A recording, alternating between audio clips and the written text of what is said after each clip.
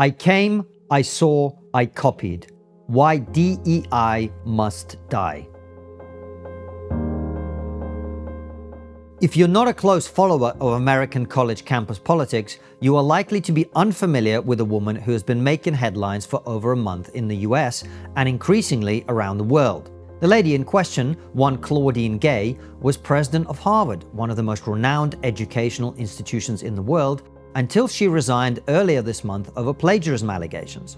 Why does or should anyone care about this? Well, Gay's decisions to step down is the culmination of long running efforts to address the cancer at the heart of Western societies. The idea that the way to fix injustices of the past is to commit injustices today. Following her resignation, Gay's defenders were quick to emphasize the racial dimension of the story. Ibram X. Kendi, for example, tweeted that racist mobs won't stop until they topple all black people from positions of power and influence who are not reinforcing the structure of racism. And while his claims of this being a racist campaign are absurd, it is true that Gay was not targeted solely for seemingly adopting the personal motto of I came, I saw, I copied. She became a focus of major Harvard donor concerns and a media campaign led by Christopher Rufo, a man I would approvingly describe as the diversity industry's greatest enemy, in the light of her mind boggling testimony in Congress. Does calling for the genocide of Jews violate Harvard's rules of bullying and harassment, yes or no? It can be, depending on the context. What's the context? Targeted as an individual, targeted as, at an individual. It's targeted at Jewish students, Jewish individuals. Again, it depends on the context. It does not depend on the context. The answer is yes, and this is why you should resign. These are unacceptable answers across the board. Her statements, given alongside the presidents of MIT and UPenn, reveal the core of the ideology the entire Western education system is based on in all its glory. The oppressor versus oppressed mindset, which, no matter how uncomfortable this may make some viewers, is cultural Marxism, says simply that white people and overperforming minorities like Indians, Jews, Chinese, Japanese, and Korean Americans should be discriminated against in hiring and student applications in favor of underprivileged groups. As a result, college campuses on which regular meltdowns have occurred for over a decade over such hate speech as dressing in a Mexican costume for Halloween found themselves with nothing to say about pro Hamas demonstrations and the harassment of Jewish students on their campuses in the wake of the October 7th attacks. But even that is not painting the full picture. Yes, Gay, a darling of the diversity industry, was targeted for her plagiarism following her complete failure of leadership in recent months. But she was also partially targeted because of the assumption, if not outright conclusion, that the reason she was appointed in the first place was, to put it mildly, not merit alone. After all, Gay's primary achievement is not stellar academic work, exemplary managerial skills, or even charisma and force of personality.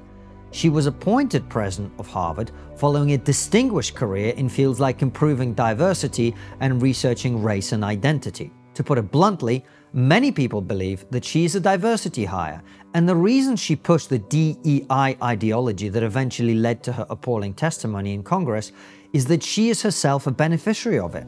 To be clear, she has not been forced out for being black. She has been forced out for being placed in a position for which she had neither the skills nor the experience to succeed, and then failing in it. This is the rotten legacy of affirmative action, which, as Thomas Sowell explained decades ago and in many of his books since, hurts the very people it is attempting to help. Now, you, do you believe that mandatory proportional representation benefits minorities? No. In fact, I think one of the great handicaps that uh, blacks and other minorities face across the country is that they are systematically mismatched with universities in the admissions process. That is, if, if Harvard feels that it must have X percent of blacks, and if the pool is such that they can't get X percent of blacks at the same level as the rest of the Harvard students, they're going to take those blacks who would have succeeded in some state university and bring them to Harvard, where many of them will fail. Something like one fourth of all the black students going to MIT do not graduate. You're talking about a pool of people who scored the 90th percentile in math, whom you are artificially turning into failures by mismatching them with the school. If allowing students to enter universities in which they are destined to fail for the sake of diversity harms them, then what might be said about hiring people for leadership roles in major institutions in which they're destined to fail? This harms not only them, but also the people who work and study at those institutions. I have no evidence that Claudine Gay was hired ahead of better, more qualified candidates. But it is not hard to imagine that a position holding the prestige, reputation, and nearly million dollar a year salary the role of Harvard president commands could have been filled by someone with more executive experience, academic achievements, and other relevant expertise. This is the other great curse of the counterproductive attempts to artificially increase the presence of so-called underrepresented groups in employment and education.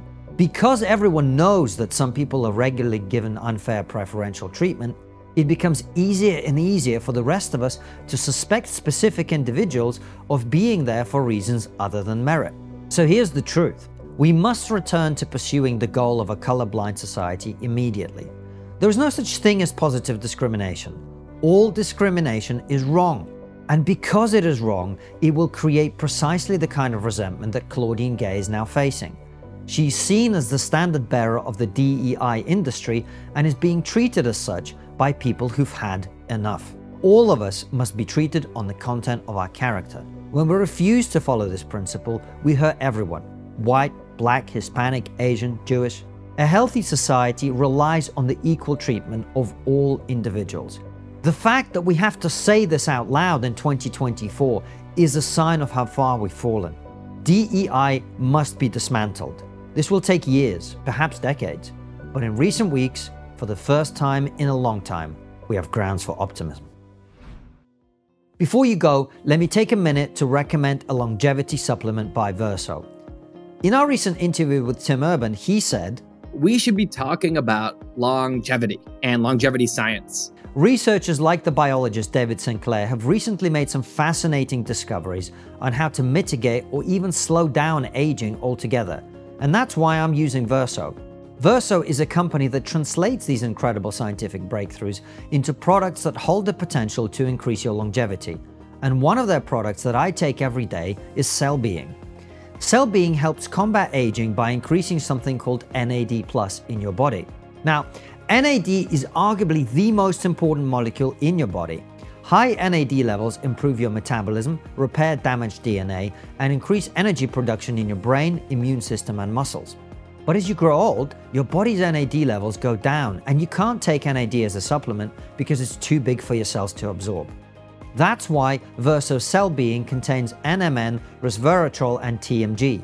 These three molecules work together to increase NAD plus levels. If you want to read more about this, check out the scientific research linked in the description of this video. Plus, Verso publishes third-party testing on every batch of its products to guarantee that you're getting exactly what you're paying for.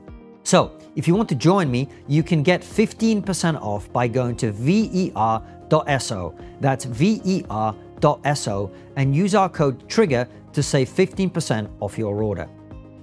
By the way, if you enjoyed this video, then make sure to check out this one where I explain to Glenn Beck why diversity is not a strength.